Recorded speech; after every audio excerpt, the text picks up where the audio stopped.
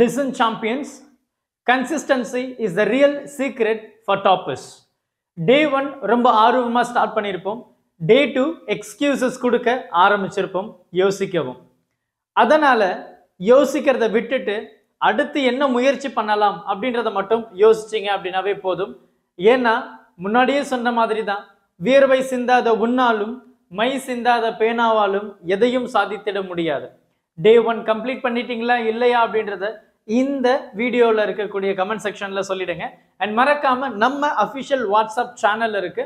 அதுலேயும் ஜாயின் பண்ணிடுங்க. வாட்ஸ்அப் லிங்கை டிஸ்கிரிப்ஷன் பாக்ஸ்லையும் கமெண்ட் செக்ஷன்லையும் நான் பின் பண்ணுறேன் ஸோ இன்றைக்கி நம்ம பார்க்கக்கூடிய சேலஞ்சஸ் என்ன அப்படின்னு பார்த்தோன்னா torque potential electrostatic potential equipotential dipole potential அப்புறம் relation between electric field and potential and then காஸில் காஸ்லலாம் இருக்கக்கூடிய அப்ளிகேஷன்ஸ் ஸோ நிறைய பேர் என்ன கேட்டிருந்தாங்க அப்படின்னா கமெண்ட் செக்ஷன்ஸ் கொஞ்சம் சால்வ் பண்ண நல்லா இருக்குமே அப்படின்னு சொல்லிட்டு இதை நம்ம சால்வ் பண்ணோன்னா it takes more time so அந்த டைம் நமக்கு இல்லை. பட் நான் மேக்ஸிமம் இதனுடைய கான்செப்ஷுவல் திங்கை உங்களுக்கு ரொம்ப கிறிஸ்டல் கிளியராக கொடுக்க போகிறேன் ஸோ உங்களுக்கு இதை பற்றின டீட்டெயில்டு எக்ஸ்பிளனேஷன் வேணும் அப்படின்னா நம்ம சேனலில் இருக்கக்கூடிய எலக்ட்ரோஸ்டாட்டிக்ஸ் சாப்டர் முருக எம்பின்னு போட்டிங்கன்னா பக்காவாக வரும். அதில் டவுட்டே இல்லை. ஸோ இங்கே வந்து நம்ம பேசக்கூடிய விஷயம் என்ன அப்படின்னா டார்க் ஸோ டார்க் அப்படின்னு சொல்லும்போது நம்ம ரொம்ப சிம்பிளாக நம்ம ரெப்ரசென்ட் பண்ணியிருப்போம் maximum I try to give what you asked so torque அப்படின்றத நம்ம என்ன சொல்லுவோம்? பிஇ சைன் தீட்டா அப்படின்னு சொல்லுவோம். இது ரெண்டு என்னது? கிராஸ் ப்ராடக்டில் இருக்கும் வெக்டாரில் எழுதும் போது அப்போ என்ன ஆகுது? என்னுடைய டைபோல் மூமெண்ட்டும் எலக்ட்ரிக் ஃபீல்டும் நைன்டி டிகிரியில் இருக்கும்போது எனக்கு டார்க் வந்து மேக்ஸிமம் இருக்கும் அப்படின்னு நம்ம பேசணும் அந்த எந்த இடத்துல வந்து பார்த்தீங்கன்னா டார்க் அப்படின்னு நம்ம பேசும்போது என்னுடைய total charge டைபோல்னாவே zero and then total force இந்த இடத்துல ஜீரோவாக இருக்க முடியும். பிகாஸ் எனக்கு opposite and equal opposite and equal forces F அப்படின்னு சொல்லும்போது அப்படின்னு சொல்லும்போது கியூஇ ஸோ ஒரு ஃபோர்ஸ் அந்த பக்கம் இன்னொரு ஃபோர்ஸ் இந்த பக்கம். ஆப்போசிட்டில் இருக்கும். அதனால தான் எனக்கு வந்து நெட் ஃபோர்ஸ் ஜீரோ ஆகும்போது எனக்கு டார்க் வந்து கிரியேட் ஆகுது. அதுதான் இந்த கான்செப்ட் அண்ட் இதையே வந்து நம்ம இன் டேர்ம்ஸ் ஆஃப் பொட்டன்ஷியல் அதாவது இங்கே. பொட்டென்ஷியல் அப்படின்னு நம்ம பேசணும் அப்படின்னா டார்க்கில் எப்படி பொட்டன்ஷியல் ஆகும்? அதாவது பொட்டென்ஷியல் அப்படின்றது நமக்கு தெரியணும் இல்லையா? அப்போ அதை நம்ம ஃபஸ்ட்டு பார்த்துடலாம்.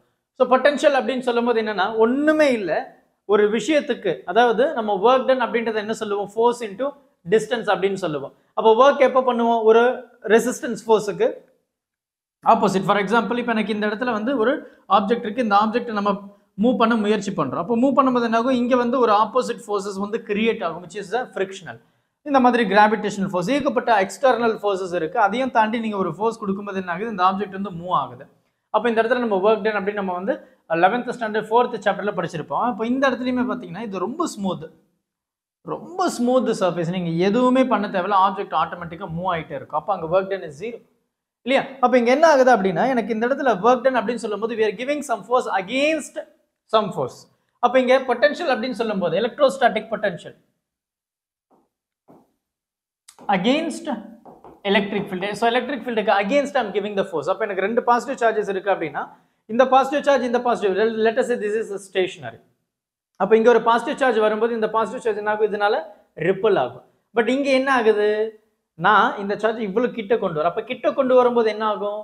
எனக்கு வந்து ரிப்பல்ஷன் அதிகமாகும். ரிப்பல்ஷன் அதிகமாகுதுன்னா என்ன ஆகுது? என்னுடைய எக்ஸ்டர்னல் ஃபோர்ஸ் டிஸ்டன்ஸ் போக போக கிட்ட நெருங்க நெருங்க என்னுடைய எக்ஸ்டர்னல் ஃபோர்ஸஸும் அதிகமாகிட்டே போகுது. ரொம்ப சிம்பிளாக சொல்லணும் அப்படின்னா நார்த் போல் நார்த் போல் இந்த நார்த் போல் ஃபிக்ஸட் வச்சுக்கோங்க. இந்த நார்த் போல் கிட்ட கொண்டு வந்துட்டே இருந்தீங்கன்னா என்னுடைய டிஸ்டன்ஸ் கிட்ட போக போக அது கிட்ட எடுத்துகிட்டு போகக்கூடிய எக்ஸ்டர்னல் ஃபோர்ஸ் நீங்கள் கொடுக்குறது அதிகமாக இருக்கு.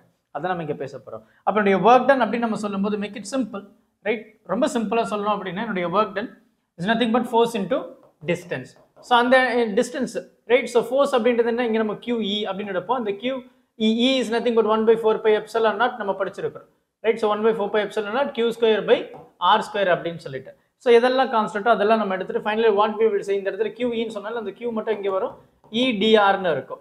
So this is nothing but your V இப்போ V is nothing but E D R which is one of the most important relation which is potential and electric field இந்த கான்செப்ட் அதுதான் அதான் அந்த answer சரி அது ரொம்ப முக்கியமான ஒரு ரிலேஷன் ஸோ அதுதான் வந்து இந்த இடத்துல நம்ம பேசுகிறோம் அப்போ அதுக்கப்புறம் என்ன சொல்லும்? இந்த e ஈயை வந்து I will expresses one by which mean K times K Q by R square அந்த கியூ அண்ட் தென் கே நம்ம காமன் எடுத்துட்டு ஆர் மட்டும் எடுத்துருப்போம். அப்போ கீழே வந்து ஆர் ஸ்கொயர் இருக்கும் மேலே டிஆர் இருக்கு. அப்போ ஆர் ஸ்கொயர் மேலே போகும்போது R to the power minus டூன்னு ஆகும்.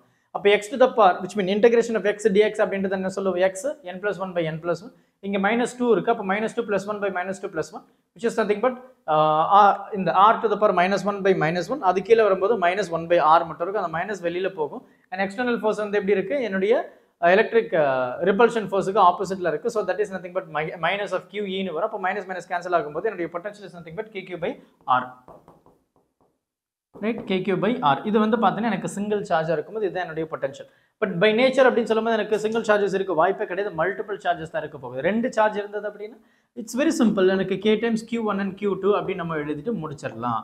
அப்போது இந்த இடத்துல என்ன பண்ணுறேன் ஒரு சார்ஜ்னு சொல்லும்போது இன்னொரு சார்ஜ் வந்து அதுக்கு மேலே ஒரு ஃபோர்ஸ் கொடுக்குது. இந்த சார்ஜ் இதுக்கு மேலே ஒரு ஃபோர்ஸ் கொடுக்குது விச் இஸ் ஒர்க் டன் அப்போ ஒர்க் டன் அப்படின்றது நம்ம என்ன சொல்லுவோம்? கியூ டைம்ஸ் ஆஃப் வி இந்த வின்றது single potential which is K Q by ஆறு அந்த இங்கே ஒரு ஆறு இருக்குது சாரி இங்கே ஒரு கியூ இருக்குது அதுதான் எனக்கு வந்து ரெண்டு சார்ஜ் கடையில் இருக்கக்கூடிய potential which is K Q one Q two by R அவ்வளோதான் முடிஞ்சு போச்சு. அப்போ மல்டிபிள் அப்படின்னு சொல்லும்போது ஒன் டூ ஒன் த்ரீ அப்படின்ற மாதிரி we is to construct so அதுதான் எனக்கு வந்து மல்டிபிள் சார்ஜஸ் கடையில் இருக்கக்கூடிய ஃபோர்ஸ் அப்படின்னு நம்ம சொல்லலாம். ஸோ அப்போ இதை நம்ம பார்த்துட்டோம். இது முடிஞ்சது. இது முடிஞ்சது. அண்ட் தென் வந்து பார்த்தீங்கன்னா இதுவும் முடிஞ்சது. ஸோ அடுத்து நம்ம பார்க்கக்கூடிய கான்செப்ட் என்ன அப்படின்னா ஈக்கோ பொட்டன்ஷியல் ஈக்கோ பொட்டன்ஷியல் அப்படின்னு சொல்லும்போது எனக்கு சர்ஃபேஸில் வந்து என்னுடைய பொட்டன்ஷியல் ரிமைன்ஸ் சேம் வென் என்னுடைய என்னுடைய பொட்டன்ஷியல் ரிமைன்ஸ் சேம் அப்படின்னா ஃபார் எக்ஸாம்பிள் எனக்கு இங்கே வந்து ஒரு சார்ஜ் இருக்குது ஒரு பாயிண்ட் விச் மீன் இங்கே இருக்கிற ஒரு சார்ஜ் நம்ம இங்கே கொண்டு வரோம் அப்படின்னா there is a change in distance because there is a change in distance அப்படின்னு சொல்லும்போது என்னுடைய பொட்டன்ஷியல் மாறும். பிகாஸ் என்னுடைய வி வந்து இன்வெர்ஸ்லி ப்ரொபோஷனல் டு ஆர் அப்போ என்னுடைய ஆர் வந்து குறையும் போது பொட்டன்ஷியல் அதிகமாகும். ஆர் வந்து அதிகமாகும் பொட்டன்ஷியல் வந்து கம்மியாகும். அப்போ என்னுடைய பாயிண்ட் இங்கே நெருங்க நெருங்க என்ன ஆகும்? என்னுடைய பொட்டன்ஷியல் வந்து அதிகமாகிட்டே போகும். பிகாஸ் என்னுடைய டிஸ்டன்ஸ் குறையுது என்னுடைய பொட்டன்ஷியல் வந்து அதிகமாகுது. இன்வெர்ஸ்லி ப்ரொபோஷன் அப்படின்னு நம்ம பேசியிருக்கோம் பட் இதே இடத்துல வந்து இந்த சார்ஜ் நம்ம இப்படி சர்க்கிள் ஆர்பிட் அப்படின்னு சொல்லும்போது என்னுடைய distance is same circle I'm I'm talking about the circle அப்போ சர்க்கிள் சொல்லும்போது என்னுடைய distance on the surface distance on the surface remains same அப்போ டிஸ்டன்ஸ் எனக்கு சேமாக இருக்கும்போது என்ன ஆகும்? என்னுடைய பொட்டன்ஷியல் மாறாது. அப்போ எனக்கு ஆன் த சர்ஃபேஸ் அப்படின்னு நம்ம பேசும்போது என்னுடைய பொட்டன்ஷியல் மாறலை. இப்போ பொட்டன்ஷியல் மாறலை அப்படின்னா எனக்கு ஒர்க் டன் வந்து கிடையாது. அப்போ ஈக்குவல் பொட்டன்ஷியல் சர்ஃபேஸ்க்கு என்னுடைய potential remains same and there is no work done it's very simple important and concept அடுத்து நம்ம பேசக்கூடியது வந்து இந்த எலக்ட்ரோஸ்டாட்டிக் பொட்டன்ஷியல் அப்படின்னு நம்ம பேசும்போது டைபோலுக்கு என்ன சார் இருக்கும்? இப்போ டைபோல் நம்ம சொல்லும்போது ரொம்ப முக்கியமான விஷயத்தை இந்த இடத்துல நம்ம நோட் பண்ணி ஆகணும். டைபோல் அப்படின்னு சொல்லும்போது நம்ம ஆல்ரெடி பார்த்துருக்கோம். ஆக்சியல் அண்ட் தென் ஈக்குவட்டோரியல் அப்படின்னு நம்ம கான்செப்ட் பேசியிருக்கோம். வி ஹவ் டிஸ்கஸ்ட் ஆல்ரெடி அப்போ ஆக்சியல் சொல்லும்போது இந்த பாயிண்ட்டுக்கு சைடில் அதாவது இந்த சார்ஜுக்கு சைடில் I use to choose a point அது வந்து நம்ம ஆக்சியல் லைன் அப்படின்னு சொல்லுவோம். பைசெக்டிங் ஆர் ஈக்குவட்டோரியல் அப்படின்னு சொல்லும்போது இந்த பாயிண்ட்டுக்கு எக்ஸாக்ட்லி இன்டர்செக்டிங் பாயிண்ட்டை நம்ம பேசுவோம். அப்போ இங்கே பொட்டன்ஷியல் அப்படின்னு சொல்லும்போது பாசிட்டிவ் சார்ஜஸ்னா கே கியூ பை ஆர் அப்படின்னு எடுப்போம். Negative சார்ஜஸ்னா minus K Q by R அப்படின்னு எடுப்போம்.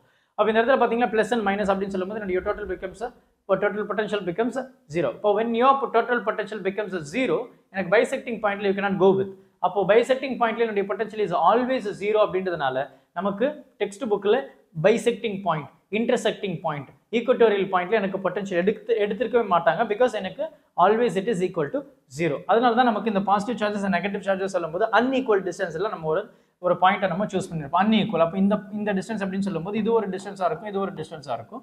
அண்ட் தென் இது வந்து ஆஸ் யூஷுவல் நம்ம எடுக்கக்கூடிய அந்த mid point which is nothing but r இதை இதை நம்ம ஏன்னு சொல்லுவோம் இதை நம்ம ஏன்னு சொல்லுவோம். Total distance is nothing but two times of a so இதெல்லாம் நமக்கு தெரிஞ்ச ஒரு விஷயம் தான் அப்போ எனக்கு பொட்டன்ஷியல் அப்படின்னு சொல்லும்போது பைசெக்டிங்கில் you can not take access I I say the concept here அதனால தான் நம்ம வந்து இந்த பைசெக்டிங் பாயிண்ட் அண்ட் ஈக்குவட்டோரியல் நம்ம எடுக்காம ஆக்சியல் எடுக்காம இந்த பாயிண்ட்டை மட்டும் எடுத்திருக்கோம். அப்போ என்னுடைய பொட்டன்ஷியல் நம்ம லாஸ்ட்டில் நம்ம என்ன சொல்லியிருக்கோம் அப்படின்னா k right k you have the whole term I I'm just writing the last equation வரும் எனக்கு என்ன வரும் அப்படின்னா k p cos theta by r square அப்படின்னு நம்ம எழுதுவோம். ஸோ டைபோலுக்கு எனக்கு இது வரும். அப்போ எனக்கு கே ரைட் ஸோ அப்போ என்ன இருக்குது அப்படின்னா இந்த p is nothing but your two a q இல்லையா? இந்த டூ ஏ கியூ தான் நம்ம இந்த இடத்துல நம்ம முக்கியமாக பேசக்கூடிய ஒரு விஷயம் அப்படின்னு நம்ம சொல்லலாம். ஸோ இதே வந்து நம்ம அதில் என்ன எடுத்திருந்தோம் அப்படின்னா two k p by r cube அப்படின்னு நம்ம எடுத்திருந்தோம். Minus k p by r cube அப்படின்னு எடுத்திருந்தோம். ஆக்சியல் அண்ட் தென் ஈக்குவட்டோரியல் இங்கே வந்து பார்த்தீங்கன்னா k p cos theta by r square right potential சொல்லும்போது எனக்கு dipole sorry single charges multiple charges ரெண்டு சார்ஜஸ் அப்படின்னு சொல்லும்போது வெறும் ஆறு தான். எனக்கு டைபோல் சொல்லும்போது ஆர் ஸ்கொயர் அப்படின்னு வந்து you should keep in mind always அப்போ எனக்கு வந்து பார்த்தீங்கன்னா இந்த தீட்டா ரைட் ஸோ தீட்டா வந்து எனக்கு ஜீரோ டிகிரியாக இருக்கும்போது என்ன ஆகுது? It it can be your axial line so அப்போ இந்த சைடு இருந்தாலும் that becomes your negative sorry yeah so this side இருந்தாலும் that becomes your positive because என்னுடைய டைபோல் மூமெண்ட் இந்த பக்கம் இருக்குது என்னுடைய பாயிண்ட்டும் இந்த பக்கம் இருக்குது so which is same direction அப்போ எனக்கு ஜீரோ டிகிரின்னு சொல்லும்போது that becomes your k p by r square இப்போ இந்த சைடு நெகட்டிவ் சைடு சொல்லும்போது minus k p by r square அப்படின்னு நம்ம எழுத போகிறோம் because that makes an angle one eighty degree எனக்கு டைபோல் மூமெண்ட்டுக்கும் எனக்கு இருக்கக்கூடிய அந்த ரிசல்டன் அந்த எலக்ட்ரிக் ஃபீல்ட் டேரக்ஷன் ஆப்போசிட்ல இருக்கிறதுனால ஒன் எயிட்டி டிகிரி அப்போ ஒன் எயிட்டி டிகிரின்னு சொல்லும்போது தட் பிகம்ஸ் யுவர் மைனஸ் அப்போது இது வந்து பாசிட்டிவ் ஒன் எயிட்டி டிகிரி அப்படின்னு சொல்லும்போது that becomes your negative and then வந்து பார்த்தீங்கன்னா ninety degree ninety degree is nothing but cos ninety becomes zero அப்போ காஸ் நைன்ட்டி என்ன ஆகுது? எனக்கு ஜீரோ அப்படின்னு முடிஞ்சிருது. அப்போ எனக்கு பைசெக்டிங் பாயிண்ட்ல என்னுடைய பொட்டன்ஷியல் இஸ் நத்திங் ஜீரோ ஏன்னா நம்மளே சொன்னது தான் பாசிட்டிவ் நெகட்டிவ் வந்து கிட் கேன்சல் ஈச் அது ரைட் ஸோ இதுதான் நமக்கு பொட்டன்ஷியல் பற்றி நம்ம பேசக்கூடிய ஒரு முக்கியமான விஷயம். அடுத்து நம்ம பார்க்குறது என்ன அப்படின்னா Gauss law so Gauss law வந்து one of the most important topic in this chapter அப்படின்னு நம்ம சொல்லி ஆகணும். இப்போ காஸ்லா அப்படின்னு சொல்லும்போது நமக்கு வந்து பார்த்தோம்னா Gauss is closed flux sorry electric flux is nothing but charge enclosed by epsilon naught அப்படின்னு நம்ம சொல்லியிருப்போம்.